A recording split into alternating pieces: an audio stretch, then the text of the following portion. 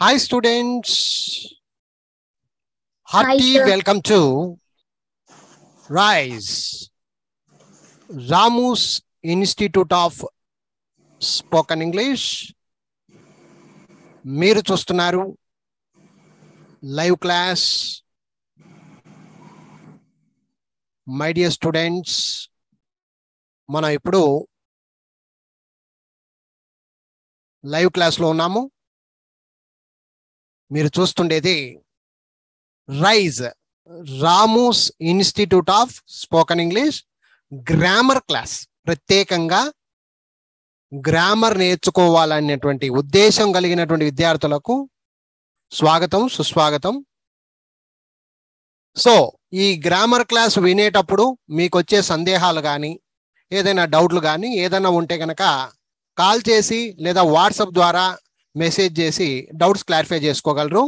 మా cell number WhatsApp number కింద కనిపిస్తున్నటువంటి number nine three nine zero four nine five two three nine. Okay మా all of you good morning how are you అందరు ఎలా ఉన్నారు మా? Very. Good very. Good so ఇప్పుడు మనము బేసిక్ లెవెల్ చాలా గ్రామర్లో మొదటి లెవెల్ నుంచి స్టార్ట్ అవుతున్నామమ్మా సో విద్యార్థులు జాగ్రత్తగా ప్రతి విషయాన్ని అర్థం చేసుకునే ప్రయత్నం అయితే చేయండి అమ్మా ఓకేనా? అది. అర్థం కాకపోతే అడగండి. నిదానంగా ఒక్కొక్కరిగా అడగండి. ఒకేసారి అందరూ అడిగేది కాదు. ఏమ్మా రైట్. కమాన్ సో ఇప్పుడు మనము ఈ లైవ్ క్లాస్ ద్వారా నేర్చుకుంటుండేటువంటి టాపిక్ కంటెంట్ అంటారు. టాపిక్ ఏంటయ్యా అంటే సబ్జెక్ట్ వర్బ్ ఆబ్జెక్ట్. సబ్జెక్ట్ అంటేమి వర్బ్ అంటేమి ఆబ్జెక్ట్ అంటేమి ఈ విషయాల గురించి మనం తెలుసుకునే ప్రయత్నం అయితే చేస్తున్నాం. జనరల్గా సబ్జెక్ట్ అంటే కర్త అంటారమ్మా వర్బ్ అంటే క్రియ అంటారు ఆబ్జెక్ట్ అంటే కర్మ అని అంటారు. సబ్జెక్ట్ అంటే ఏమ్మా?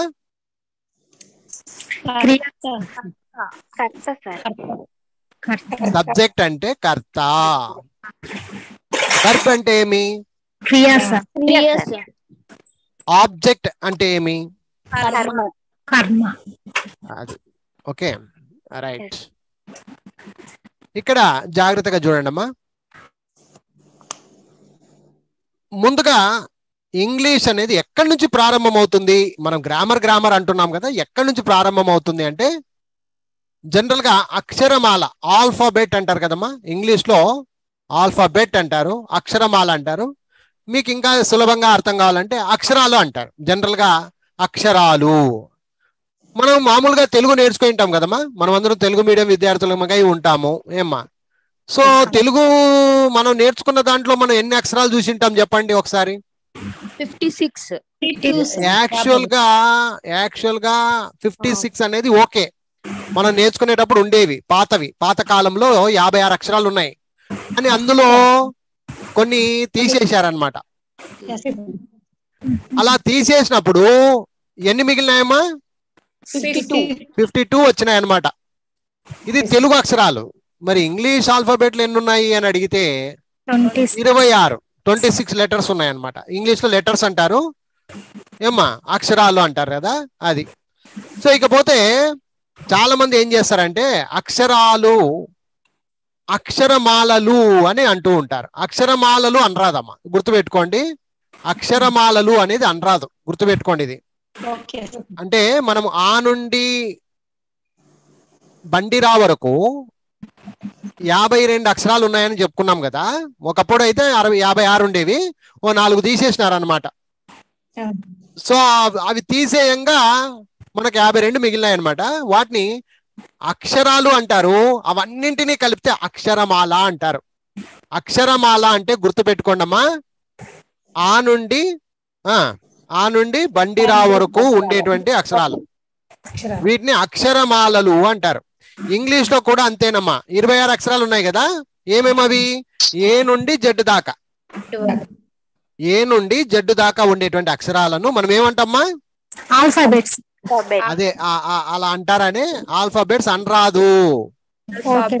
చిన్న విషయమైనా కూడా చాలా పెద్ద విషయం. ఆల్ఫాబెట్ ఆ ఆల్ఫాబెట్ అనాలి కానీ బెట్స్ అని రాదు ఎస్ బెట్ట కాదు. ఓకే. అక్షరమాలలు అని తెలుగులో అనరాదు. అదే విధంగా ఆల్ఫాబెట్స్ అని ఇంగ్లీష్లో కూడా అనరాదు. ఏమనాలి మరి? ఆల్ఫాబెట్. ఈడ అక్షరమాల అనాలి. లు అనకూడదు. అక్షరమాల అక్షరమాల ఆల్ఫాబెట్ అనాలి. అందుకే హెడ్డింగ్లో చూడండి అక్షరమాల ఆల్ఫాబెట్. దీని గురించి ఒక చిన్న అవగాహన కోసమే అంతే.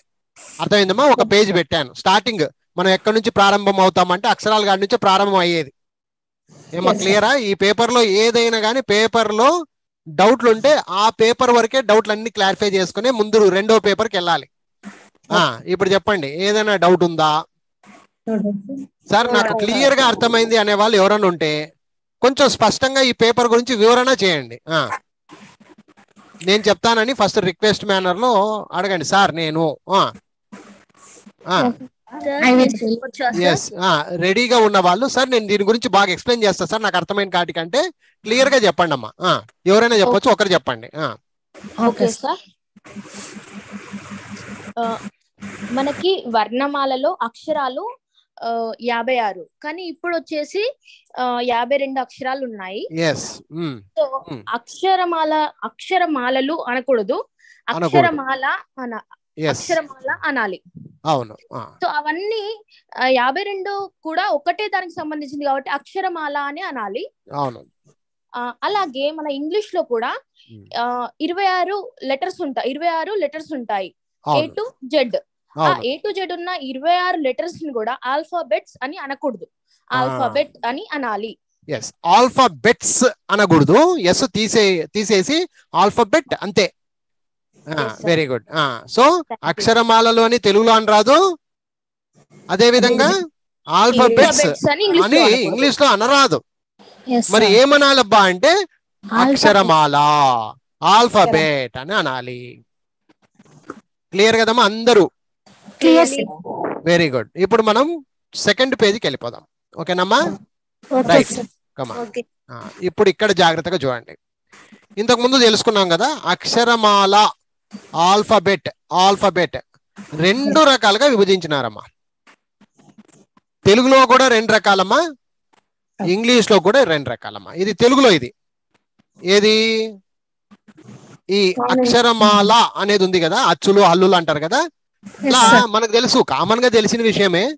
అచ్చులు హల్లులు అని రెండు రకాలుగా విభజించినారు. ఇన్ ది సేమ్ వే అదే మాదిరిగా ఇంగ్లీష్లో వొవల్స్ కాన్సోనెంట్స్ అని రెండు రకాలుగా విభజించినారమ్మా. తెలుగులో ఏమంటారు చెప్పండి? అల్లులు ఒకటో రకము అచ్చులు రెండోది హల్లులు అంటారు. అది వేరే ఇది వేరే. అచ్చులు వేరు హల్లులు వేరు. ఏమ్మా?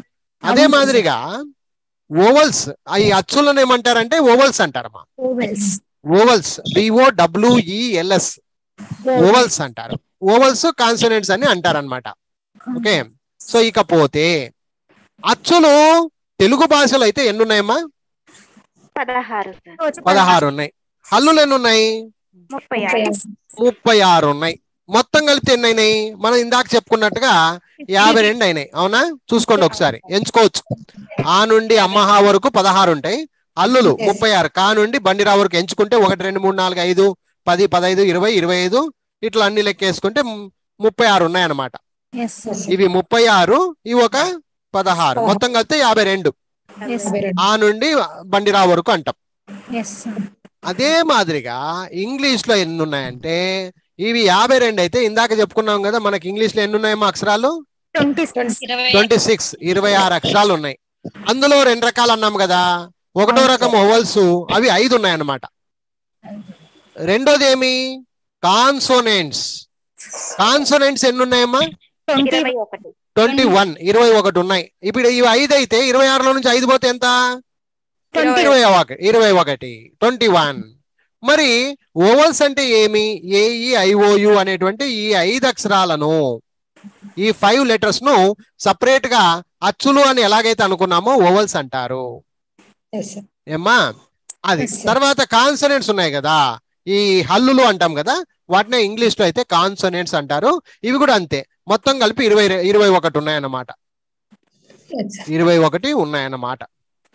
ఓకే? సో ఓవరాల్గా ఈ రెండు కలిపితే ఇరవై ఆరు అక్షరాలు ఇంగ్లీష్లో ఉన్నాయి యాభై రెండు అక్షరాలు తెలుగులో ఉన్నాయి. తెలుగు ఆల్రెడీ మనకు వచ్చు కాబట్టి యాభై రెండు అక్షరాలు మనం ఈజీగా నేర్చుకున్నాం కాబట్టి ఆల్రెడీ చిన్నప్పటి నుంచి నేర్చుకుని వచ్చింటాం కాబట్టి ఆ నుండి బండిన వరకు రాయడం పెద్ద కష్టమేం కాదు అది పెద్ద కథ కూడా కాదు. ఇకపోతే ఇంగ్లీష్ విషయంలో ఇరవై ఆరు అక్షరాలు ఊకనే తెలుసుకుంటున్నాం అంతే. దాంట్లో ఓవల్స్ ఉంటాయి కాన్సనెంట్స్ ఉంటాయి. ఎందుకంటే ఈ అక్షరాల గురించి తెలియకపోతే నీకు పదం గురించి తెలియదు. అర్థమైందమ్మా? పదానికి వెళ్ళాలి అంటే అక్షరాల గురించి మనకు నాలెడ్జ్ ఉండాలి. ఒక పదం గురించి ఏదైనా మనం ఇంగ్లీష్ మాట్లాడాలంటే కావాల్సింది ఏమ్మా? పదము సార్. పదము. ఓ పదాలే మనం మాట్లాడేవన్నీ పదాలే. పదాలు పదాలు కలుపుతూ వాక్యాలుగా నిర్మిస్తాం. సో అవి నేర్చుకోవడానికి ఈ ఇప్పుడు నేను బేసిక్ లెవెల్లో ఓకే ఫస్ట్ ఏముంటాయి? అక్షరాలు ఉంటాయి అని చెప్తున్నా. అర్థమైందా? అక్షరాలు మనము తెలుగులో అయితే అక్షరమాల అంటాము. ఆ అక్షరమాలలో ఉండే అక్షరాలు యాభై రెండు అక్షరాలు ఉంటాయి ఇకపోతే ఇంగ్లీష్లో ఆల్ఫాబెట్ అంటారు. ఈ ఆల్ఫాబెట్లో రెండు రకాలుగా డివిజన్ అయింది. అది వచ్చేసి ఓవల్స్ ఐదు కాన్సనెంట్స్ ఇరవై ఒకటి. ఇందులో ఎవరికైనా ఏమన్నా డౌట్ ఉంటే అడగవచ్చు నో డౌట్స్ నో డౌట్ ఇప్పుడు సార్ నేను చెప్తా సార్ ఇంతకు ముందు వేరే టైం చెప్పింది కదా ఇప్పుడు వేరే అమ్మాయి ఇప్పుడు వేరే స్టూడెంట్ చెప్పాలి. మీరు సార్ నాకు ఇది బాగా అర్థమైంది దీని గురించి నేను చెప్తా సార్ అనే వాళ్ళు చెప్పండి. ఓకే సార్లో వచ్చేసరికి అక్షరమాల అంటారు సార్ ఇంగ్లీష్ ఉన్నమ్మా ఆల్- ఉన్నమ్మా. ఒక్క నిమిషము. అక్షరమాల అంటారు. ఇంగ్లీష్లో వచ్చేసరికి ఆల్ఫాబెట్ అంటారు సార్. అవునమ్మా. రెండు రకాలుగా విభజించారు. తెలుగులోను రెండు రకాలుగా విభజించారు. ఇంగ్లీష్ లోను రెండు రకాలుగా విభజించారు. తెలుగులో విభజించిన దాన్ని అచ్చులు అంటారు. వాటికి సిక్స్టీన్ లెటర్స్ ఉంటాయి సార్. అవి అని చెప్తారు. అట్లు వచ్చేసరికి థర్టీ సిక్స్ ఉంటాయి సార్. అవి. కా కా గా వచ్చి ఉంటాయి. అదే విధంగా ఇంగ్లీష్లో కూడా వర్డ్స్ అనేసి అచ్చులుగా విభజించారు. అవి అవును. ఈ ఐ ఓ యు వచ్చి ఉంటాయి. అదే హల్లుల్ని ఇంగ్లీష్లో కాన్సోనెంట్స్ అంటారు. అవి ట్వంటీ వన్ లెటర్స్ ఉంటాయి. బిసిడి ఆ విధంగా రెండు రకాలుగా విభజించారు ఇంగ్లీష్లో వాటిని. అంతే అంతే అంతే. సో ఈ విధంగా మనకు ఏ తెలుగు కావచ్చు ఆ ఇంగ్లీషు కావచ్చు లేకపోతే ఇండియన్ లాంగ్వేజెస్ ఏదైనా కానీ మా కన్నడ కావచ్చు మలయాళం కావచ్చు తమిళ్ కావచ్చు ఏదైనా అంతే. అచ్చులు హల్లులు అని ఉంటాయమ్మా. అది గుర్తుపెట్టుకోండి. ఓకేనా? అచ్చులు హల్లులు అని ఉంటాయి. అదే మాదిరి ఇంగ్లీష్లో కూడా అంతే. ఓవల్స్ కాన్సనెంట్స్ ఉంటాయి. ఇది క్లియర్ అంతేనా? రైట్ నెక్స్ట్ మూడో పేజీకి వెళ్తున్నాం. ఇప్పుడు మనం ఇక్కడ నుంచి బయలుదేరుతా ఉన్నాం అనమాట అక్షరమాల ఎన్ని అక్షరాలు అనుకున్నాం ఇందొక? ఇరవై ఆరు అక్షరాలు అనుకున్నాం. అవి ఏమి అంటే చిన్నపిల్లలు కూడా తెలిసివి ఓకేనా? మనం చిన్నప్పుడు చిన్న పిల్లలకి నేర్పిస్తున్నాం మన పిల్లలకి నేర్పిస్తున్నాం. అన్ని తెలిసినవే. So A B C D E F G H I J K L M N O P Q R S T U V W X Y Z ఈ విధంగా లెక్కేసుకుంటే చూడండి ఒకటి రెండు మూడు. ఆ విధంగా చూసుకుంటే అన్ని కలిపి ఇరవై ఆరు అక్షరాలు అయినాయి. ఓకేనమ్మా? క్లియర్ అయింది? అందరికీ తెలిసినవే. ఓకేనా? అందరికీ తెలిసిందే. నెక్స్ట్ ఇకపోతే అంతవరకు బాగుంది. ఇరవై ఆరు అక్షరాల వరకు బాగానే అర్థమైంది సార్ అంటాం. కానీ ఇప్పటికీ eighty percent of the students వాళ్ళకి తెలీదు. ఈ అక్షరాలు ఎన్ని రకాలుగా అంటే మనం రాస్తాం కదమ్మా? మనము బుక్లలో ఆడ ఈడ చూసేటప్పుడు ఈ ఇంగ్లీష్ అక్షరమాల ఇంగ్లీష్ ఆల్ఫాబెట్ను నాలుగు విధాలుగా రాస్తారు. రాయు విధానం గురించి మాట్లాడుతున్నా నేను. ఎన్ని విధాలుగా రాస్తాము? ఇప్పుడు మనం రాస్తాం కదమ్మా బుక్కుల్లో పెన్స్ స్లేట్లలో రాసేటప్పుడు మీరు ఈ ఇంగ్లీష్ అక్షరాలు ఏ టు జెడ్ ఉన్నాయి కదా వాటిని నాలుగు రకాలుగా రాస్తాం ఒక్కొక్కరు ఒక్కొక్క విధానంలో రాస్తారు అంతే. ఏమ్మా? ఒక్కొక్కరు ఒక్కొక్క టైప్లో రాస్తాం. ఉదాహరణకు ఇప్పుడు మీకు కొంచెం క్లారిటీగా అర్థం కావడానికి నేను ఒక స్పెల్లింగ్ రాస్తా. ఉదాహరణకు ఇక్కడ జాగ్రత్తగా చూడండి. నా పేరే రాసుకుంటున్నా. ఆరు ఏ ఎం యు. ఇది ఒక రకం. ఇప్పుడు ఇంకొక రకం రాస్తా. ఆర్ ఏ ఎం యు ఇది ఒక రకం. ఇప్పుడు ఇంకొక రకం రాస్తా. ఇక్కడ రాస్తా.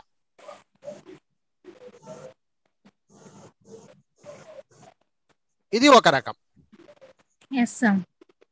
ఇప్పుడు ఇంకొక రకం రాస్తా. ఓకే ఇది ఒక రకం. ఇక్కడ మీరు గమనించండి హౌ మెనీ స్టైల్స్ నేను ఎన్ని స్టైల్స్లలో రాసిన? ఫోర్ టైప్స్ ఫోర్ టైప్స్ రాసిన. ఏ విధంగా రాసినానంటే మొదటి రకంలో అన్ని ప్రింట్ క్యాపిటల్ లెటర్స్ రాశా. రెండవ రకంలో ప్రింట్ స్మాల్ లెటర్స్ రాశా. మూడవ రకంలో స్క్రిప్ట్ క్యాపిటల్ లెటర్స్ రాశా. యాక్చువల్గా స్క్రిప్ట్ క్యాపిటల్ లెటర్స్ కొంచెం రాంగ్ రాశా. కొంచెం ఉండండి. సార్ అలవాటు లేదు కదా? ఆ, ఇక్కడ చూడండి. ఇట్లా ఇట్లా రావాలి. ఎస్ సార్ ఓకేనా? సో ఇప్పుడు మూడోది ఏమైంది? స్క్రిప్ట్ క్యాపిటల్ లెటర్స్ అయింది. అవును. నాలుగోది ఏమైంది? స్క్రిప్ట్ స్మాల్ లెటర్స్ అయింది. ఇక్కడ గమనించాలి. ఏంటి? తేడా ఏంటి? ఈ నాలుగింటికి నాలుగు పేర్లు పెట్టినాడు అనమాట ఇది వచ్చేసి అన్ని క్యాప్స్ ఉన్నాయి. చూడండి. దాన్ని ప్రింట్ క్యాపిటల్ లెటర్ ప్రింట్ అంటే అర్థం ఏమ్మా? బుక్స్లో ప్రింట్ చేసేదాన్ని. ఆ మనము పుస్తకాల్లో చూసిన విధంగా మామూలుగా మనం ఇప్పుడు ఫర్ ఎగ్జాంపుల్ ఇక్కడే ఉంది ఇదంతా బుక్ టైప్ అనుకో. ఇక్కడ చూడండి ఇంగ్లీష్ చూడండి ఆల్ఫాబెట్ చూడండి ఇక్కడ స్టార్టింగ్లో ఎలా ఉంది చూడండి? ఏ ఈ అని. అవునా?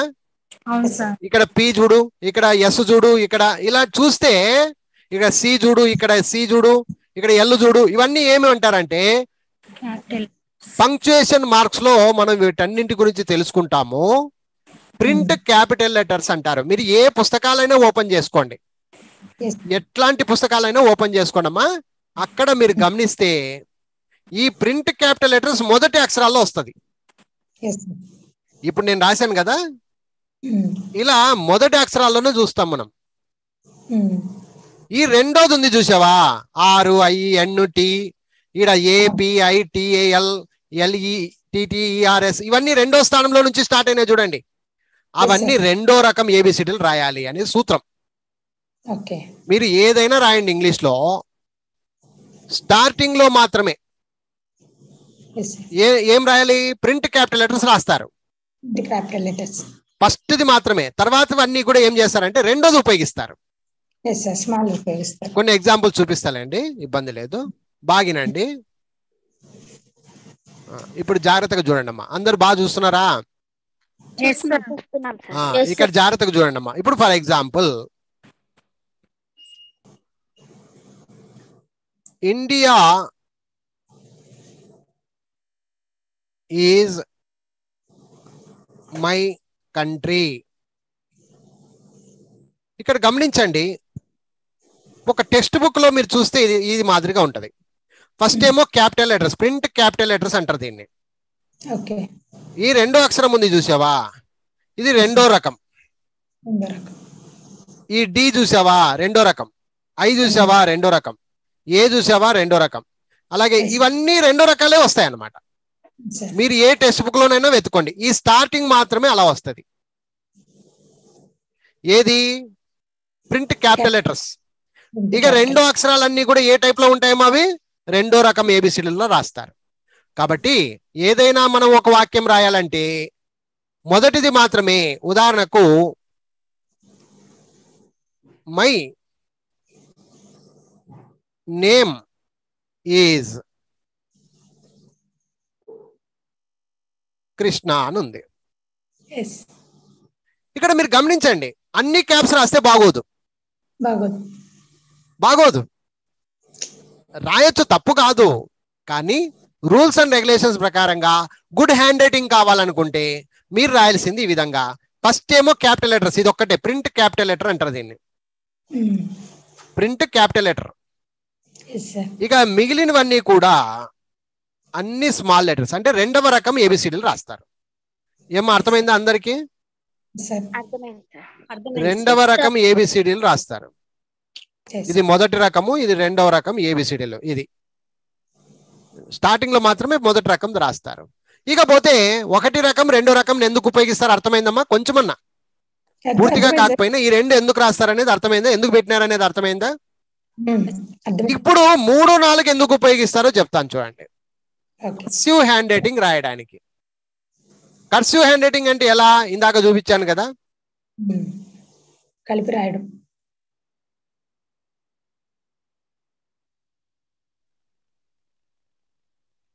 ఇది కర్సివ్ హ్యాండ్ రైటింగ్ కాదా ఇక్కడ గమనిస్తే ఒక్క ఎమ్ మాత్రమే ఎమ్ మాత్రమే క్యాప్స్ ఉంది. మిగిలినవన్నీ కూడా స్మాల్ లెటర్స్ ఉన్నాయి. అందులో మీరు గమనిస్తే ఇక్కడ చూడండి స్క్రిప్ట్ క్యాపిటల్ లెటర్ ఇది. ఏది? ఎం అనేది. స్క్రిప్ట్ క్యాపిటల్ లెటర్ ఆ మిగిలినవన్నీ కూడా స్క్రిప్ట్ స్మాల్ లెటర్స్ అర్థమైందా? అర్థం కాలేదా? ఏమ్మా క్లియరా సార్ అర్థమైందా? కర్సివ్ హ్యాండ్ రైటింగ్ రాసేటప్పుడు ఇవి ఉపయోగిస్తారు. ఏమ్మా క్లియరా సో మొదటి రకం ఏబిసిడీలు రెండవ రకం ఏబిసిడీలు మూడవ రకం ఏబిసిడీలు నాలుగవ రకం ఏబిసిడీలు మొదటి రకం ఏబిసిడీలు స్టార్టింగ్లో రాయడానికి ఉపయోగిస్తారు. ప్రింట్లో starting print print capital letters అంటారు కదా? సో మనం పుస్తకాల్లో ఆడేడ చూస్తే గనక ఈ ప్రింట్ క్యాపిటల్ లెటర్ స్టార్టింగ్లో ఉంటది నాన్న. ఇక మిగిలినవన్నీ సినిమా అంతా నడిపేదంతా ఎవరమ్మా? రెండవ రకం ఏబిసిడీలు. స్మాల్ లెటర్స్ స్మాల్ లెటర్స్ ఉపయోగిస్తారు. ఇక మూడోది ప్రింట్ స్క్రిప్ట్ స్క్రిప్ట్ అంటారు ఇది. స్క్రిప్ట్ అంటే రాయడానికి ఉపయోగిస్తాం. సో స్క్రిప్ట్ క్యాపిటల్ లెటర్స్ ఎక్కడ ఉపయోగిస్తారమ్మా? మనం. కర్సివ్ హ్యాండ్ రైటింగ్ రాయడానికి ఉపయోగిస్తాం. అందులో స్టార్టింగ్లో మాత్రమే. ఈ స్టార్టింగ్లో మాత్రమే. తర్వాత తర్వాత రాసేవన్నీ కూడాను. Small script letters small letters ఇప్పుడు అర్థమైందమ్మా అందరికి? సార్ కొంచెమన్నా. మనకి హండ్రెడ్ పడు ఏదో కాదులే కానీ కొంచెం ఏదో అర్థమైంది సార్ పర్వాలేదు. ఓహో ఎందుకా? అని అనుకుంటే చాలమ్మా. ఓకేనా? ఓకే సార్ అలాగే ఇక్కడ జాగ్రత్తగా చూడండి ఇప్పుడు. మనము ప్రింట్ క్యాపిటల్ లెటర్స్ అని చూసాం కదా ఇందాక. ఇవన్నీ కూడా స్టార్టింగ్లో రాయడానికి ఉపయోగిస్తారు. ఏ నుండి జెడ్ వరకు.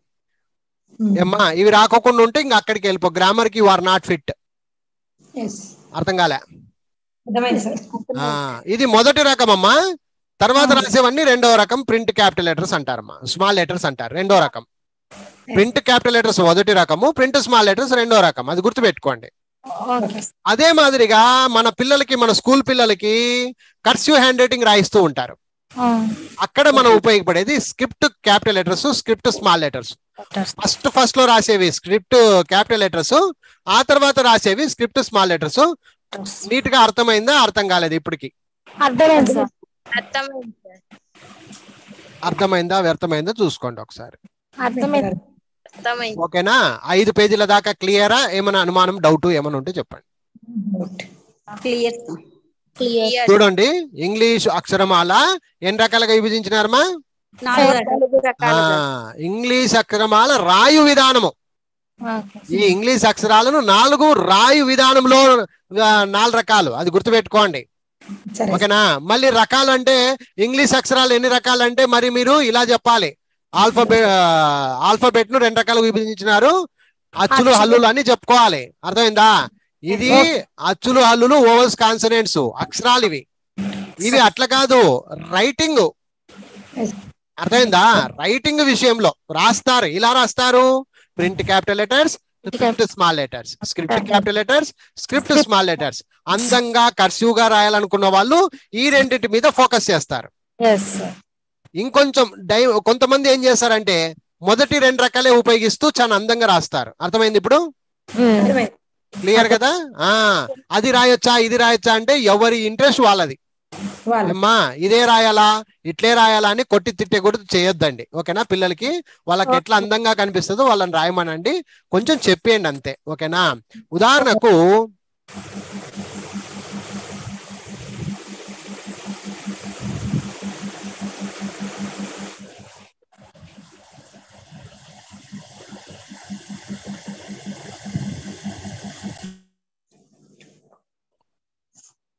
ఇది ఏం చదవండి అమ్మా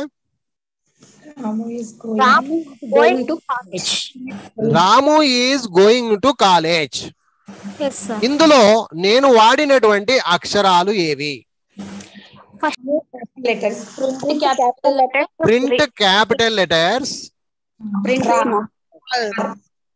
Print capital వాడాను. ప్రింట్ స్మాల్ లెటర్స్ ఇవి రెండోది. అంతే కదమ్మా. ఇది ఒక రకమైన హ్యాండ్ రైటింగ్ ఇప్పుడు ఇంకొక రైటింగ్ రాస్తాను. Okay sir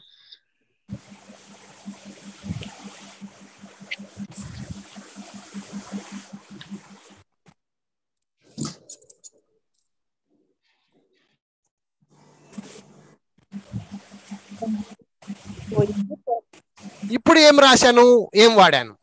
Script capital. ఇక్కడ స్క్రిప్ట్ క్యాపిటల్ లెటర్స్ ఇది గుర్తుపెట్టుకోవాలి.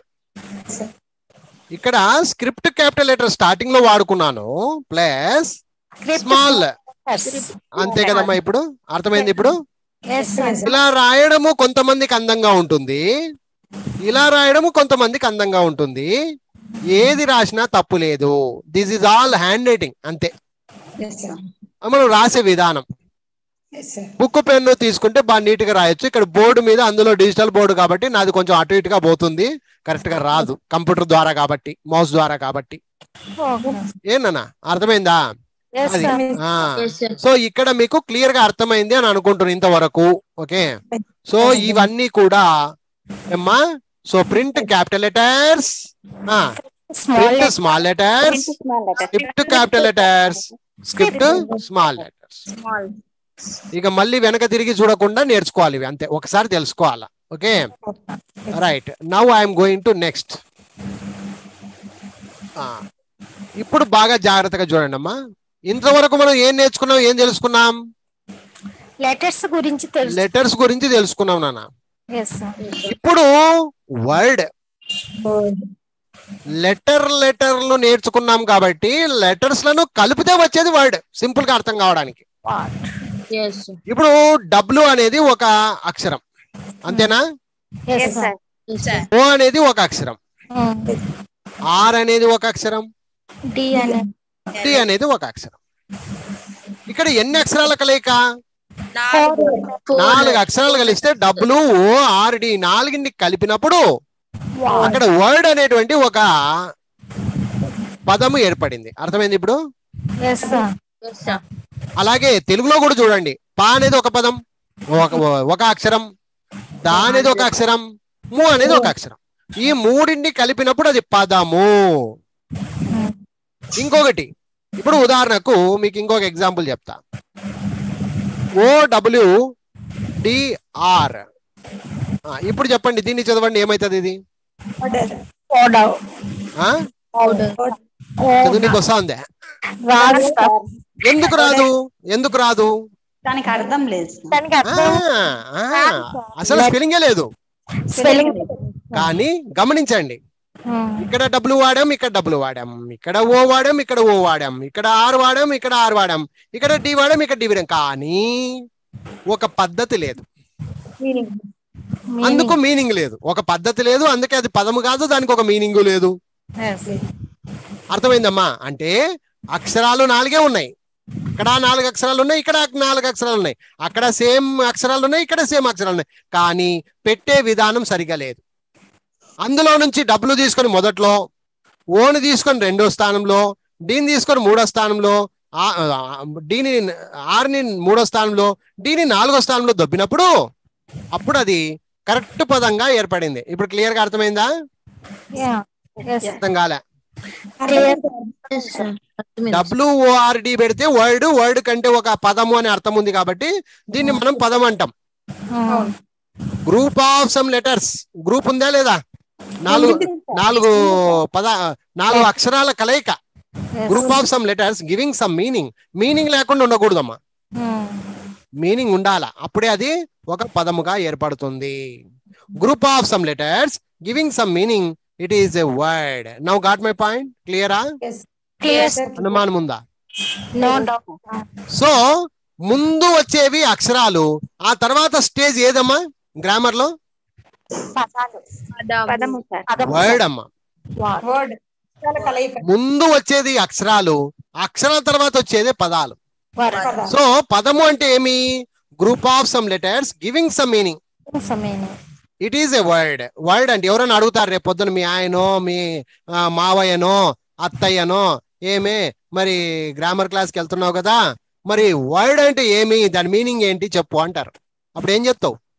Group of some letters giving some meaning it is at what group of some letters giving some meaning మన మీనింగ్ లెస్ కాదు. ఆ మీనింగ్ ఉండాల. ఏదైనా మీనింగ్ ఉండాల. ఉదాహరణకు ఇప్పుడు ఇది నేను ఒకటి రాస్తున్నా. ఇది ఏమిది?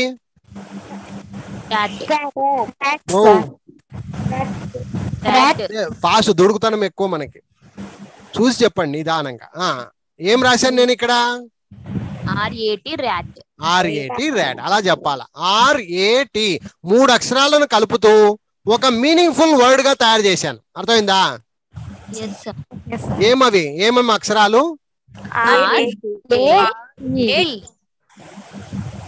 ఏమేమి అక్షరాలు? Are A T. ర్యాట్ ఏమైతుంది? ఊకన ఆర్ ఏటి అంటే ఎట్లా? ఆర్ ఏటి ర్యాట్ అంటే మూడు అక్షరాల కలయిక. ర్యాట్ అంటే ఎలుక.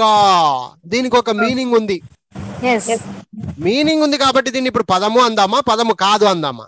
పదము పదం అని చెప్పుకోవచ్చు. అనుమానమే లేదు. పదం అని చెప్పుకోవచ్చు. ఒకవేళ ఎగ్జామ్లో ఇలా ఇచ్చాడు. ఇటు పక్క చూడండి. మరి ఇది ఏమైతుంది చెప్పు అన్నాడు ఇప్పుడు. అది మీనింగ్ లెస్. అసలు మూడు అక్షరాలు కలిసినాయి కానీ మీనింగ్ లేదు. టార్ అంది. టార్ ఎక్కడ వినలే నేను? నువ్వైతే విన్నావా? వినలేదు సార్ ఏ ఎప్పుడైనా విన్నారా మనము? లేదు. టిఏఆర్ అంటే దాంట్లో అర్థం లేదు. కానీ ఇక్కడ మూడు అక్షరాలే అక్కడ మూడు అక్షరాలే. అవి అక్షరాలు ఇక్కడ ఉన్నాయి. కానీ సెటప్ కరెక్ట్గా లేదు. మీనింగ్ లేదు. కాబట్టి ఈ టిఏఆర్ అనేది wrong word. R A T అనేది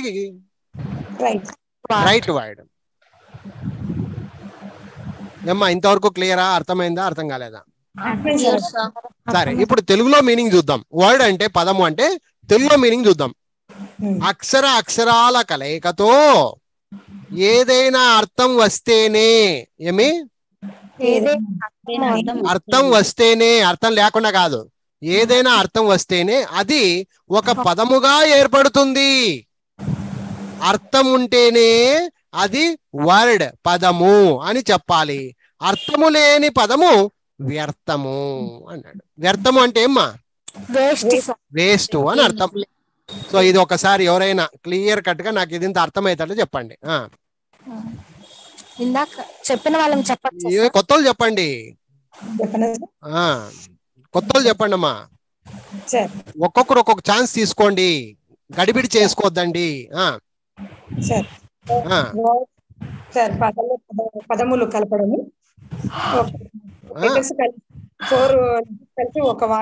అట్లా కాదమ్మా అది కాదు అది కాదు. నీట్గా చెప్పు. వర్డ్ పదము అంటే అర్థం చెప్పు ఫస్ట్. దాని కలయిక సార్ నాలుగు వర్డ్స్ కలిపి నాలుగు ఐదు కాదు నాన్న అక్కయ్య.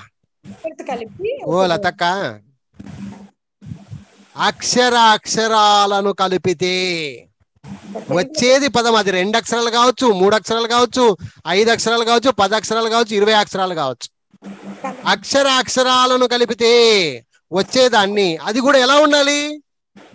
మీనింగ్ ఉండాలి. ఒక అర్థం ఉండాలి. అర్థము లేని పదము వ్యర్థము. ఇక్కడ అర్థవంతమైనటువంటి పదాలు కొన్ని ఉన్నాయి. ఇప్పుడు ఇందాక చెప్పుకున్నట్టుగా టిఏఆర్ అంటే అర్థం లేదు అది స్పెల్లింగ్ లేదు కరెక్ట్గా ఏది లేదు. కాబట్టి దాన్ని మనము ఒక వర్డ్గా ప్రణ తీసుకోం.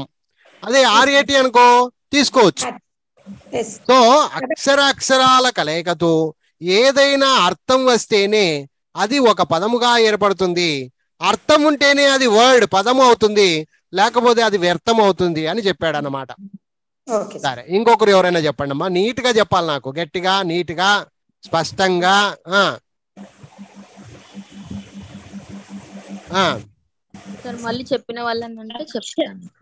అది తప్పుమా? ఆ మాట అనొద్దు. అందరూ ఛాన్స్ తీసుకోండి. అందరూ చెప్పడానికి ప్రయత్నించండి. ఉండే ఎనిమిది మంది ఉన్నారు. మీరు నోరు మూసుకుంటానంటే నేను లైవ్ క్లాస్ తీసేస్తా. మళ్ళీ వార్నింగ్ ఇస్తున్నా. మాకు ఈ ఇంట్రెస్టే నాకు పోతుంది అంటున్నా. ఇంట్రెస్టింగ్ ఉండాలా? ఏ బసమ్మా? ఏమి? ఉండాలా వద్దా? చెప్తాను. ఆ చెప్పాలా నాకు? ఏం దాపెట్టుకునికి వచ్చినారా? ఆ చెప్పమ్మా. పదము అంటే అక్షర అక్షర కలయికతో ఏర్పడే పదము. ఆ. ఇంగ్లీష్లో వర్డ్ అంటాం.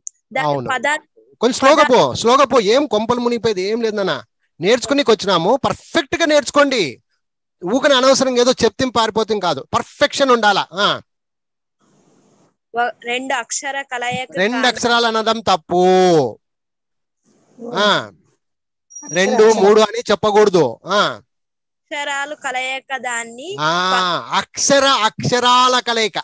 ఒక అక్షరానికి ఇంకొక అక్షరం ఇంకొక అక్ష- అక్షరానికి ఇంకొక అక్షరం. ఆ విధంగా ఎన్ని అక్షరాలైనా కలుపుతూ ఏర్పడేటువంటి ఒక ఏదైతే ఆ ఫార్మేషన్ ఒకటి పదార్థం ఏర్పడిందో దాన్నే మనం ఏమంటామా వర్డ్ పదము అని అంటాం. పదము అని అంటాం. ఆ ఇంకా? దానికి మీనింగ్ లేకుంటే అది పదము కాదు. దానికి- దానికి మీనింగ్ ఉండాలా? మీనింగ్ ఉంటే వర్డ్ మీనింగ్ లేదనుకో అప్పుడు ఏమైపోతుందన్నా వ్యర్థం అంటే వేస్ట్ అయిపోద్ది. అది మీనింగ్ లేకుండా అయిపోద్ది అనమాట అప్పుడు పదం అంటారు దాన్ని. రాంగ్ వర్డ్ అంటారు దాన్ని. ఏమ్మా? ఆ వర్డ్స్ రాస్తాం. మనము రాస్తాం. స్పెల్లింగ్ మిస్టేక్స్తో రాస్తాం. అప్పుడు అది రాంగ్. అంతే. ఆ విధంగా. సో ఇప్పుడు ఇంగ్లీష్లో ఒక ఒకటి క్లిక్ ఇక్కడ క్లిక్ ఉంది. దీన్ని చూడు ఒకటి. ఇది చెప్పండి మరి. ఆ. చెప్పు. Combination of some letters is a word what is a word ఎవరిని అడిగినారబ్బా? ఆ. కాంబినేషన్ ఆ. Of some letters is a what ఎట్లా చెప్పాలా? స్టైలిష్గా రావాలా? చెప్పమంటే నలుగురు ఐదు మంది చెప్తారు. ఒకరు చెప్పండి నీట్గా చెప్పండి ఆ. Combination of some letters is a what చెప్పే స్టైల్ బాగలేదు. బాగా చదువుతున్నావు అంతేగాని ఎక్స్ప్రెషన్ లేదాడా? చెప్పేటప్పుడు ఒక విధానం అనేది ఉంటది. ఆ చెప్పే విధానం ఎలా ఉండాలి చూడు? ఆ. Combination of some letters is a word. అది. ఏమి? ఆడ ఒత్తి పలకాల.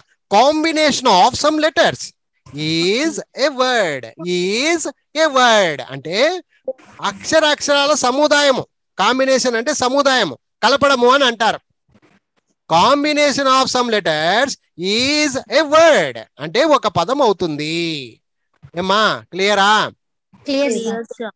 నెక్స్ట్ ఇప్పుడు దానికి ఇంకొకటి box letter letter word letter plus letter plus అని ఇంకా ఎన్నైనా జోడించుకోవచ్చు అని అర్థం దాని అర్థం ఏమి? లెటర్ ప్లస్ లెటర్ వర్డ్ అట్ట అనకూడదు. Letter plus letter plus less ఆ విధంగా ఎక్సెట్రా అన్నమాట. ఎన్నైనా రావచ్చు అవి. Letter plus letter plus letter ఈ విధంగా ఉంటే దాన్ని ఏమైతుందమ్మా అది ఇంగ్లీష్లో వర్డ్ అక్షర అక్షరములను కలిపితే పదము ఏర్పడుతుంది అంటాడు. ఇంతవరకు బాగా అర్థమైంది సార్. నేను చెప్తా సార్ ఇప్పుడు అని కొత్త వాళ్ళు విజయలక్ష్మి ఆ, చెప్పమ్మా. జీ లక్ష్మి అక్షర అక్షర కలయికనే వర్డ్ అంటారు సార్. దాన్నే తెలుగులో పదము అంటారు. అక్షర అక్షర కలయిక ఏదైనా ఏదైనా అర్థం వస్తే అది ఒక పదము ఏర్పడుతుంది. అర్థం అవుతుంటే అది వర్డ్ పదము అని చెప్పాలి. అర్థం. లేని పదమును వ్యర్థము అంటారు. Combination of some letters is a word అక్షర అక్షరాల సముదాయమును ఒక పదము అని అంటారు. Letter plus letter letter word తయారవుతుంది సార్. లెటర్కి లెటర్ లెటర్ కలుపుతూ వెళ్తే దాని అర్థం ఏమి? ఒక అక్షరానికి ఇంకొక అక్షరం అట్లా జోడించుకుంటూ పోతే పదము ఏర్పడుతుంది. ఆ ఇప్పుడు జీ లక్ష్మి నువ్వు చెప్పినావా చదివినావా? రెండు పాయింట్లు చెప్పు నాకు. కొంచెం ఫస్ట్గా సార్ టెన్షన్గా చదివాను సార్. చెప్పడం తప్పు కాదు. ఇలా చెప్పడం తప్పు కాదు. కానీ ఎలా చెప్పాలది నేర్చుకో. సొంతంగా ఓరల్గా నీకేం అర్థమైందో నీ బుర్రతో చెప్పాలా. ఆడ ఫ్రేమ్ మీద ఏముందో అది చదువుతానంటే కుదరదు. అర్థమైందా. నువ్వు ఆ చదివేటప్పుడు. కూడా తనకలాడుతున్నావు ఆ చదివేది కూడా చదివే చదివే అంటే చదువును కూడా నువ్వు క్లారిటీగా చెప్పాలి. అర్థమైందా? అది నువ్వు నేర్చుకోవాల్సింది. Yep. నీకు ఎంత అర్థమైంది అనేది మాకు అర్థం అప్పుడు. అర్థమవుతుంది అది. ఏం లేదమ్మా సింపుల్గా ఎక్స్ప్లెయిన్ చేయమంటే ఎట్లా ఎక్స్ప్లెయిన్ చేస్తావు? నీకు ఎంతవరకు జ్ఞానం వచ్చిందో అది చెప్పాలా మెయిన్ అది. ఓకేనా? అది. సరే ఇప్పుడు ఫైనల్గా నేను ఒకసారి. చెప్పేస్తాను. మళ్ళీ నెక్స్ట్ పేజీకి వెళ్ళిపోదాం. Word W O R D. వర్డ్ అంటే ఒక పదము. ఇట్లాంటి వర్డ్స్ మనకు ఎన్నో ఉన్నాయమ్మా. డిక్షనరీ ఓపెన్ చేస్తే మొత్తం ఉండేదంతా వర్డ్సే. అర్థమైందా? డిక్షనరీ ఓపెన్ చేస్తే ఎక్కడ చూస్తాం మనం? ఎన్నో రకాల పదాలు చూస్తాం. సో వర్డ్ అంటే పదము. అసలు వర్డ్ అంటే మీనింగ్ ఏమి అంటే ఇంగ్లీష్లో definition group of some letters. అంటే గ్రూప్ ఆఫ్ సమ్ లెటర్స్ అంటే ఏమి? అక్షరాక్షరాల కలయిక గుంపు అలా. Giving some meaning. అది కూడా ఎలా ఉండాలి? మీనింగ్ ఉండాలి. It is a word. దాన్నే మనము ఒక పదము అంటాము ఈ తెలుగులో చెప్పాల్సి వచ్చినప్పుడు అక్షరాక్షరాల కలయికతో ఏదైనా అర్థం వస్తేనే అర్థం లేకుండా కాదు. ఏదైనా అర్థం వస్తేనే అది ఒక పదముగా ఏర్పడుతుంది. అర్థం ఉంటేనే అది వర్డ్. అర్థం లేదనుకో దాన్ని మనం రాంగ్ వర్డ్ అని చెప్పుకుంటాం లేదా వ్యర్థమైన వర్డ్ అని అంటాము. దీన్ని సింపుల్గా డెఫినేషన్ సింపుల్గా చెప్పాలంటే combination of some letters is a word. అక్షరాక్షరాల సముదాయమును ఒక పదము అంటారు. Letter plus letter is equal to word. అక్షరాక్షరమునే పదము అంటారు. ఈ విధంగా మీరు చెప్పుకుంటే చాలమ్మా. దానికి examples R A T rat T A R tar R A T కరెక్ట్గా ఉంది పద్ధతిగా ఉంది మీనింగ్ ఉంది ఎలుక అనేటువంటి ఒక అర్థం ఉంది కాబట్టి అది ర్యాట్ అనేది ఒక పదము. టిఏఆర్ ఉంది ఎగ్జాంపుల్ టిఏఆర్లో ఏమీ లేదు. అర్థము లేదు సౌండ్ లేదు పలకనీకి రాదు ఎట్లో ఉంటది రాంగ్ వర్డ్ అలా చెప్పుకోవాలన్నమాట. ఏమ్మా అందరూ క్లియరా క్లియర్ సార్. ఒకరైన తర్వాత ఒకరు ఛాన్సెస్ తీసుకోవాలి అందరూ మాట్లాడాలి. నేను మౌనంగా ఉంటానంటే నేను ఒప్పుకోను. I'm not interested to take live classes if you are mum పబ్లిక్గా చెప్తున్నా ఇది అందరూ చూస్తున్నారమ్మా. మీరు బాగుండాలి మీరు చెప్పాలనే కదా నా తాపత్రయం. పోయినసారి కూడా ఇదే జరిగిందమ్మా. అప్పుడు ముగ్గురే ఉన్నారు వాళ్ళు ముగ్గురు బ్రేక్ అయిపోయినారు. నేను అందుకే క్లోజ్ చేశా. ఇప్పుడు కూడా మిమ్మల్ని రిక్వెస్ట్ చేసుకుంటున్నా. ఆరు మంది ఉన్నారు మీరు చక్కగా చెప్పొచ్చు. ఆరు మంది ఉన్నారు. నేను పేర్లు చెప్పను. మీకు మీరుగా రండి. చెప్పండి సార్ నేను చెప్తా సార్. ఇంకొకరు ఛాన్స్ రెడీగా ఉండండి. ఆరు మంది రొటేషన్ చేయొచ్చు కదమ్మా. ఒక్కొక్క ఒక్కొక్క పేపర్ చెప్పొచ్చు కదా.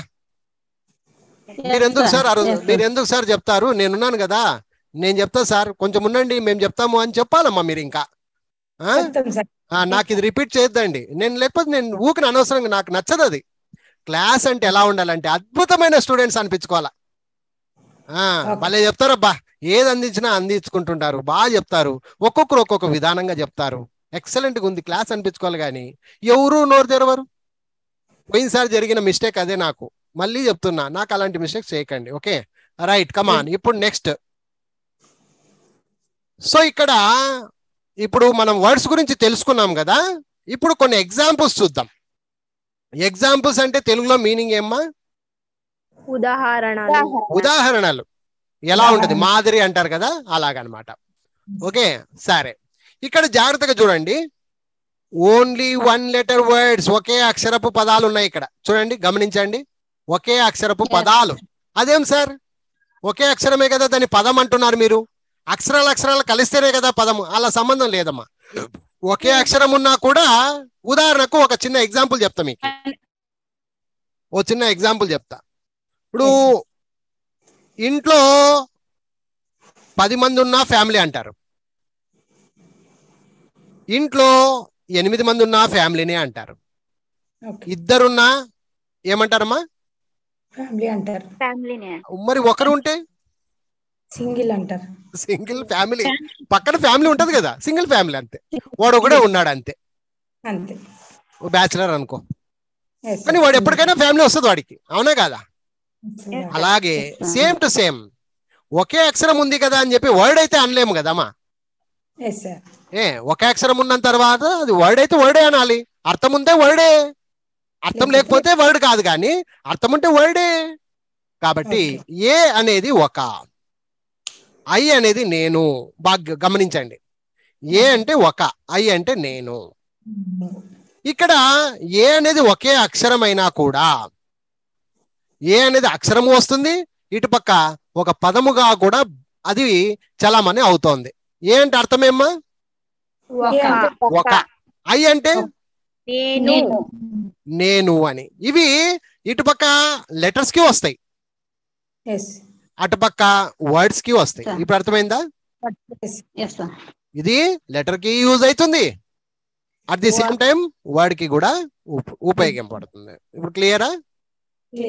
సో ఆ విధంగా ఇంగ్లీషు చరిత్రలో ఇంగ్లీషు భాషలో మొట్టమొదటి అక్షరం ఏది? చెప్పండి. మొట్టమొదటి అక్షరం. ఏ. రెండవ అక్షరం? ఐ. ఐ. సార్ అందుకే మీకు తెలివికి లేదనేది. అందుకే మీకు తెలివి లేదమ్మా అనేది. రెండవ అక్షరము అన్న బాగినం. మరి బీనే అనొచ్చు కదా? A B. ఇవి ఏమివి? అక్షరాలు.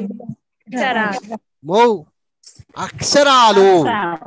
అర్థమైందా? ఆ. ఇరవై ఆరవ అక్షరం ఏది? తక్కువని చెప్పాలా? జెడ్. అట్లా ఉండాల? ఇరవై ఆరవ అక్షరం జెడ్. మొదటి అక్షరం ఏది? ఇప్పుడు చెప్పండి. మొదటి పదము ఏది? ఇంగ్లీష్ చరిత్రలో మొదటి పదము ఏది? ఏనే. రెండవ పదము ఏది. రెండవ పదము ఏది? అయినమ్మా తల్లి మా అమ్మలు. అర్థమైందా? అక్షరం అంటే బి అక్షరము అంటే బి. పదము అన్నా నేను. కావాలని అడుగుతున్నా. పదము అన్నప్పుడు ఐ ఎందుకు అయ్యే వస్తుంది సార్? అంటే వేరే అక్షరాలు లేవు కదా. అవును అర్థమైందా? ఇక్కడ ఈ ఇరవై ఆరు అక్షరాల్లో అటు అక్షరముగా ఇటు పదముగా ఉపయోగపడేది ఏ మరియు ఐ. అందుకే ఓన్లీ వన్ లెటర్ వర్డ్స్ ఉండేది రెండే. రెండే. రెండే ఉండేవి. Only one letter words. ఇది జనరల్ నాలెడ్జ్ క్వశ్చన్ ఇది ఇంగ్లీష్లో ఓకే. ఏమ్మా క్లియరా? Clear sir. ఒకే అక్షరపు పదాలు అంటారు వీటిని. ఏ మరియు ఐ ఒకే అక్షరం వస్తాయి. అందుకే ఈ రెండింటిని ఈడ ఫిక్స్ చేసిన. క్లియరా అర్థమైపోయిందా? క్లియర్ సార్ ఇప్పుడు రెండు అక్షరాల పదాలకి ఎగ్జాంపుల్స్ తీసుకుందాం. ఇక్కడ రెండు రెండు జోడి జోడి వస్తుంటాయి. మీనింగ్ కూడా ఉంటది. మీనింగ్ లేకుండా లేదు. ఇప్పుడు మీలో ఎవరో ఒకరు. ఇందాక చెప్పని వాళ్ళు ఇప్పుడు చెప్తాననే వాళ్ళు. ఈ ఈ రెండు అక్షరాలన్నీ ఒకసారి చదివేసేయి. టూ లెటర్స్ వర్డ్స్ రెండు అక్షరాల పదాలు. వి మేము అట్లా చెప్పకూడదు. అమ్మాయ్యా మీరు అట్లా అంటారనే. ఆ ఎట్లా చెప్పాలి ఇప్పుడు అది? కావాలనే చెప్పినా నేను. టూ లెటర్ వర్డ్స్ అప్పుడు నువ్వు లెటర్స్ని విభజించి చెప్పాలి కదా. డబ్ల్యూ ఉయ్ బి నో అనుకుంటూ పోతే వర్కౌట్ కాదు. మొత్తం కలిపి చెప్పాలా? వి ఉయ్ అంటే డబ్ల్యూ ఉయ్. అనేది ఒక లెటరు ఈ అనేది ఒక లెటరు ఈ రెండింటిని కలిపినప్పుడు ఉయ్ అవుతుంది. ఉయ్ అంటే అర్థము మేము. ఇది లెక్క. అట్లా చెప్పుకుంటారా. ఆ. డబ్ల్యూ అనేది ఒక పదము డబ్ల్యూ అనేది పదం కాదు నాన్న. అక్షరం అక్షరం సార్. అక్షరము రెండవ అక్షరము ఈ ఈ రెండింటిని కలిపినప్పుడు ఉయ్ ఉయ్ అంటే మేము. అదొక అర్థం ఉంది కాబట్టి ఉయ్ మేము అనేది ఒక పదము. ఆ రైట్ ఇప్పుడు అంత చెప్పకు. B plus E B is equal to ఉండు. అట్లా చెప్పుకుంటూ వచ్చేది. ఎన్ ప్లస్ ఓ. నో కాదు. అట్లా. B B plus Y by చేత. ఎం ప్లస్ ఈ మీ నన్ను. హెచ్ ప్లస్ ఈ హి అతడు. ఎం ప్లస్ వై మై నాది. డి ప్లస్ ఓ డు చేయు. జి ప్లస్ ఓ గో వెళ్ళు. ఏ ప్లస్ టి అట్ వద్ద ఏ ప్లస్ ఎన్ అండ్ ఒక T plus O to కు కి. యు ప్లస్ ఎస్ అస్ మమ్మల్ని in plus N. I plus in. I plus N is equal to in. I plus N is equal in. లోపల O plus N is equal on. పైన so ఇవన్నీ కూడా examples of two letter words మరి ఇంకా ఉన్నాయా లేదా? చెప్పండి. ఇంకా ఉండొచ్చా? ఉన్నాయి సార్ ఉండొచ్చు. చాలా ఉండొచ్చు. ఇంతవరకు మనం దొరికిన కాటికి దొంగలు. అర్థమైందా? దొరికిన కాటికి ఇక్కడ పెట్టినా నేను ఎగ్జాంపుల్స్ అంతేగాని ఇవే కాదు. గుర్తుపెట్టుకోండి ఇవే కాదు. ఇంకా చాలా ఉంటాయి. ఓకేనా? రైట్ వదిలేయండి. ఈ దాంట్లో ఏమైనా డౌట్లు ఉన్నాయా వేరే వాళ్ళకి? No doubt doubts no doubts right ఇప్పుడు ఇక్కడ ఏం చూస్తున్నారు? ఎవరో ఒకరు బాగా నీట్గా చెప్పేసేయండి. ఒక్కొక్క లైన్ చెప్పేసేయండి అందరు. Three letters three letter words ఇప్పుడు అక్షరాలు. జీ ఇప్పుడు అన్ని ప్లస్లు ప్లస్లు చెప్పకండి. జి ఓ డి గాడ్ దేవుడు. ఎస్ హెచ్ ఈ షీ ఆమె. చెప్పుకుంటే వెళ్ళండి ఆ, వై ఓ యు మీరు. ఓయ్ పలికేజ్ చెప్పాలా? పలికేజ్ చెప్పాలా? ఆ, వై ఓ యు మీరు. డబ్ల్యూహెచ్వై వై ఎందుకు? హెచ్ఐఎం హిమ్ అతన్ని. ఏఆర్ఈ ఆర్ ఉన్నారు. ఏఎన్ అండ్ మరియు. ఏ ఎన్ డి పలుకు స్పష్టంగా పలుకు. A N D A D మరియు అండ్. మరియు. ఎన్ ఓ డబ్ల్యూ నౌ ఇప్పుడు. నెక్స్ట్ ఇంకొకటి చెప్పండి అట్లా అందుకోవాలి ఇంకా.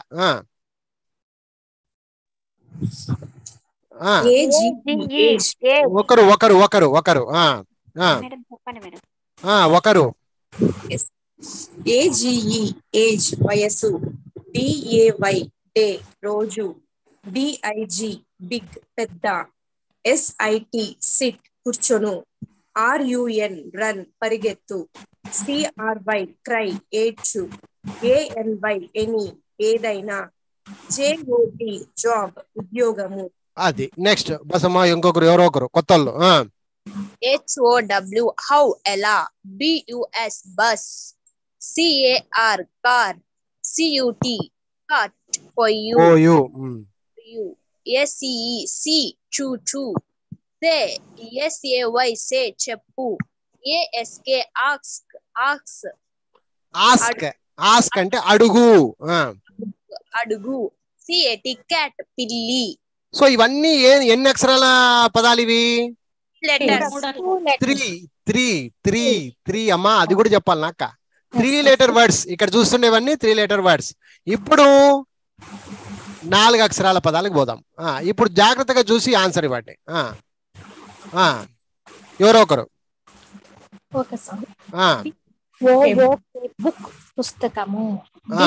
ఆ, ఓ ఆర్ డోర్ తలుపు N A M E name పేరు. డి గుడ్ మంచి. సిఏఐఎల్ ఓయ్ C A L L call. Call అంటే పిలుచు.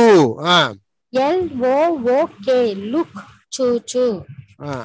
ఆర్ఈఈ ట్రీ చెట్టు. T I M E time సమయము. వెరీ గుడ్ ఇంకొకరు అందుకోవాలి అప్పుడే immediately O V E L O V E love Prema L I K E like ఇష్టము. R E A D read చదువు. Read అను read అను first read read అంటే చదువు. టేక్ తీసుకో. T A K E T A L K take talk talk talk అంటే మాట్లాడు. O P N open O P E N open open అంటే తెరుచు. ఆ, తెరుచు. H O M E home ఇల్లు. O U Y O U R your your అంటే మీ యొక్క. Next ఇంకొకరు. సిఐటివై సిటీ నగరము. ఆ, టిఓడబ్ల్యూఎన్ టౌన్ పట్టణము. ఆ, టిహెచ్ఈవై దే ఉమ్, వారు. ఆ, ఎంఓఆర్ఈ మోర్ ఎక్కువ.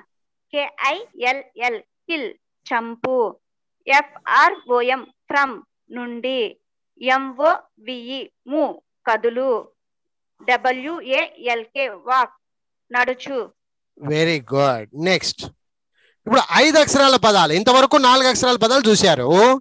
ఇప్పుడు ఐదు అక్షరాల పదాలు ఎవరు చదువుతారు చదవండి. ఆ అప్పుడే ఇంకొకరు. కంటిన్యూ ఐదు అక్షరాలు. హ్యాపీ ఏపీపీవై హ్యాపీ సంతోషము. నిదానం. నిదానం. నిదానం నిదానం. కూల్గా వెళ్ళండి house ఇన్లు P R I C E price విలువ. C A T C H catch పట్టుకోను. T H I N K think ఆలోచించు. A B O U T about గురించి. C L A S S class తరగతి. W H E R E where ఎక్కడ. T H E R E there అక్కడ. Very good ఇవన్నీ ఐదు అక్షరాల పదాలు మొదటి లైన్. రెండో లైన్ ఎగ్జాంపుల్స్. ఇంకొకరు. Fight F I G H T fight కొట్లాడు. Alone A L O N E alone ఒంటరి. Tiger T I G R tiger పులి. Money M O N E Y money డబ్బులు. Water W A T R water నీరు. Water నీరు stand S T A N D stand నిలుచు learn L E A R N learn నేర్చుకో. India I N D I A India భారతదేశము. Thief T H I E F thief దొంగ. ఇప్పుడు ఇవన్నీ ఏం అక్షరాలు ఇవి? ఫైవ్ ఐదు అక్షరాలు. ఫైవ్ లెటర్ వర్డ్స్ ఫైవ్ కాదు. ఫైవ్ లెటర్ వర్డ్స్ ఇక్కడ ఇవన్నీ కూడా నాలుగు అక్షరాల పదాలు. ఇవన్నీ ఐదు అక్షరాల పదాలు. సో ఇక్కడ జాగ్రత్తగా కింద చూడండి. ఇలాగే ఎన్నో అక్షరాలను కలుపుతూ ఎన్నో వర్డ్స్ పదాలు ఉన్నాయి ఎన్నో అక్షరాలు కలుపుతూ ఎన్నో పదాలు ఉన్నాయి వాటిని కూడా తెలుసుకోవాలంటే ఒకటే మార్గము. ఏంటా మార్గం అమ్మా డిక్షనరీ చదవడం. డిక్షనరీ ఓపెన్ చేస్తే చాలు. మీకు అన్ని ఎన్నో రకాల పదాలు బయటపడతాయి. ఓకే. అర్థమైందమ్మా? సో ఇంతవరకు మనం ఈ రోజు తెలుసుకున్న విషయాలు ఏంటి అంటే మనము ఒక లెటర్ గురించి అక్షరాల గురించి తెలుసుకున్నాము. అలాగే ఏనన్నా ఈరోజు తెలుసుకున్న విషయాలు ఒక్కసారి చూసేద్దాం. టాపిక్ ఏమో సబ్జెక్ట్ వర్బ్ ఆబ్జెక్ట్ గురించి తెలుసుకోవాలి మనం లెక్క ప్రకారంగా. కానీ అక్కడికి పోవాలంటే కొన్ని బేసిక్ నాలెడ్జ్ అవసరం కాబట్టి పేజ్ నెంబర్ వన్లో అక్షరమాల ఆల్ఫాబెట్ గురించి తెలుసుకున్నాము. యాభై రెండు ఉంటాయి తెలుగులో అయితే. ఇంగ్లీష్లో అయితే ఇరవై ఆరు ఉంటాయి. దాన్ని అక్షరమాలలు అనరాదు ఆల్ఫాబెట్స్ అనరాదు. అక్షరమాల. ఆల్ఫాబెట్ అనాలి. ఇది తెలుసుకోవాలి. రెండో పేజీలో అక్షరమాల ఈ రెండు రకాలుగా విభజించినారంట. ఒకటేమో అచ్చులు రెండోదేమో హల్లులమ్మ పదహారు ముప్పై ఆరు. ఇవన్నీ కలిపితే యాభై రెండు తెలుగులో ఉన్నాయి. ఇంగ్లీష్లో కూడా అంతే. ఓవల్స్ కాన్సనెంట్స్ అని ఆల్ఫాబెట్ను విడగొట్టినారు రెండు భాగాలుగా. ఓవల్స్ ఏమో ఐదు ఉన్నాయి కాన్సనెంట్స్ ఏమో ఇరవై ఒకటి ఉన్నాయి. టోటల్గా మొత్తం కలిపి ఇరవై ఆరు అక్షరాలమ్మా. ఈ ఇరవై ఆరు అక్షరాలు ఏవన్నీ ఏ టు జెడ్ ఇక్కడ మనము చూస్తున్నాము ఏ టు జెడ్ ఇరవై ఆరు అక్షరాలు. అందులో రాసే విధానంలో నాలుగు రకాలుగా రాస్తారు. Print capital letters print small letters కొంతమంది script capital letters script small letters ఉపయోగిస్తారు. ఈ print capital letters print small letters మనం ప్రతి టెక్స్ట్ బుక్లో చూస్తాము. అలాగే న్యూస్ పేపర్లలో చూస్తాము మ్యాగజైన్స్లో చూస్తాము. ఎక్కడ కావాలంటే అక్కడ అన్ని print capital letters print small లెటర్సే ఉంటాయి. కొన్ని చోట్లలో script capital letters script small letters ఉంటాయి. అది హ్యాండ్ రైటింగ్ రూపకంగా చాలా మంది రాస్తారు. దాన్నే కర్స్యూ హ్యాండ్ రైటింగ్ అని అంటారు. ఇకపోతే మరి ఆ అక్షరాలు నాలుగు రక నాలుగు రకాలుగా ఉన్నాయి కదా. వాటిని ఎలా రాస్తారు అంటే ముందుగా ఇక్కడ ప్రింట్ క్యాపిటల్ లెటర్స్ తీసుకుంటే కనుక ఈ విధంగా రాస్తారు. దీన్నే మనము మొదటి రకము అంటాం. ఏమంటాం దీన్ని? మొదటి రకం. ఇది రెండవ రకము ఇది మూడవ రకము ఇది నాలుగవ రకము. ఇస్ కర్సివ్ హ్యాండ్ రైటింగ్ రాసే వాళ్ళు ఇవి రెండు ఉపయోగిస్తారమ్మా. మామూలు జనరల్ హ్యాండ్ రైటింగ్ రాసే వాళ్ళు ఇవి రెండు ఉపయోగిస్తారు. అది గుర్తుపెట్టుకుంటే చాలు. తర్వాత వర్డ్ పదము అంటారు. అక్కడ అక్షరాలు నేర్చుకుని ఉంటాం కాబట్టి ఆ అక్షరాలను గుంపుగా చేసి ఒక అర్థవంతంగా ఏదైతే రాస్తామో దాన్ని మనం ఒక వర్డ్ అంటాము. Group of some letters giving some meaning అంటారు. ఇట్ ఈస్ ఎ వర్డ్ అక్షరాక్షరాల కలయికతో ఏదైనా అర్థం వస్తేనే అది ఒక పదముగా ఏర్పడుతుంది. అర్థం ఉంటేనే అది ఒక వర్డ్ పదము. లేకపోతే అది వ్యర్థము అని అంటాడు. Combination of some letters is a word అక్షరాక్షరాల సముదాయాన్ని ఒక పదము అంటారు. Letter plus letter is equal to word అక్షరం ప్లస్ అక్షరం ఈజ్ ఈక్వల్ టు పదము అని చెప్పాడు. మరి వీటికి ఎగ్జాంపుల్స్ చూస్తే కనుక ఒక అక్షరము అంటే ఒకే అక్షర పదాలు రెండు అక్షరాల పదాలు ఏమ్మా? మూడు అక్షరాల పదాలు నాలుగు అక్షరాల పదాలు ఐదు అక్షరాల పదాలు. ఇలాంటి ఎగ్జాంపుల్స్ ఇంకా ఎన్నో కావాలి మాకు అనే వాళ్ళు డిక్షనరీ చదివితే చాలు. ఎవరికైనా చక్కగా మరి ఈ అక్షరాలు పదాల గురించి పూర్తి స్థాయిలో అవగాహన కలుగుతుంది. ఇక నెక్స్ట్ భాగం రేపటి క్లాస్లో సెంటెన్స్ వాక్యం అంటే ఏమి మరి దీన్ని కూడా క్లియర్ కట్గా నేర్చుకునే ప్రయత్నం అయితే చేద్దాం. ఈరోజు మనము సుమారుగా తొమ్మిది పేజీల దాకా అయిపోగొట్టుకున్నామ్మా తొమ్మిది పేజీలు అయిపోయినాయి. మళ్ళీ రేపటి క్లాస్లో పదో పేజీ నుంచి బయలుదేరదాము. అయితే మీరు చక్కగా నాకు సపోర్టింగ్గా ఉండాలి. నోరు మూసుకొని ఉంటానంటే కాని పని ఏమ్మా అది మ్యాటర్.